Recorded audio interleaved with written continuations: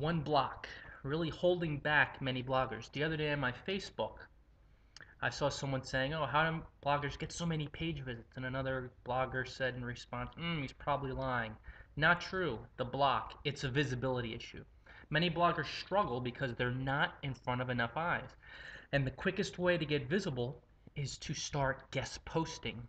If you have 50 readers for your blog and I have 100 and you post on my blog a couple times a week, you're going to start getting that visibility. So connect with popular people as frequently as possible by guest blogging. These people are not lying, they just learned the secret leveraging. That's a quick video in a minute. This is my new series, Ryan Biddulph here. Please share this post on your social networks. Comment below. Let's chat. I appreciate your support, guys.